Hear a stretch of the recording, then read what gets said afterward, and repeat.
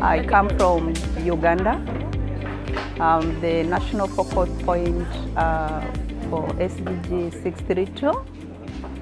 I'm happy to be back uh, at IHE because I'm an alumnus of IHE many years ago.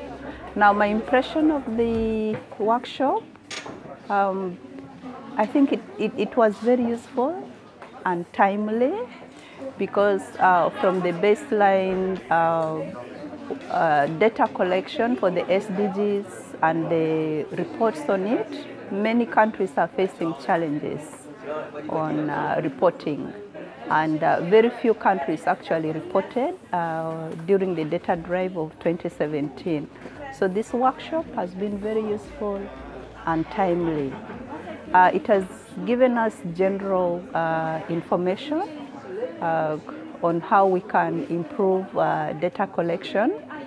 Uh, a lot of useful material uh, was given, uh, but maybe when we go back, we need to think through everything and uh, really develop a detailed uh, information uh, strategy based on the information uh, strategy model which they took us through.